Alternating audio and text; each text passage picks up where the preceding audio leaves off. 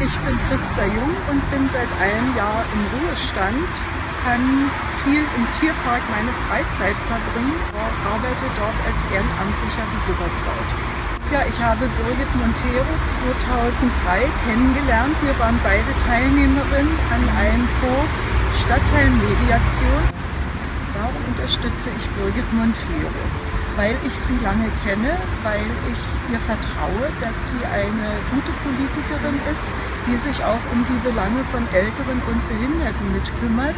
Ich habe selbst eine behinderte Tochter und da an dieser Geschichte ist Birgit Montero interessiert, wie geht es meiner Tochter, auch mit meiner Mutter. Sie ist inzwischen 90 Jahre alt.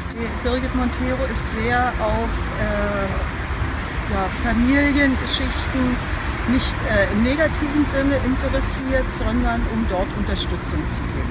Ich weiß, auf Birgit Montero ist da Verlass. Sie kümmert sich darum, sobald ich ihr eine Mail geschickt habe, beziehungsweise mit wenigen Worten das angesprochen habe, was mich äh.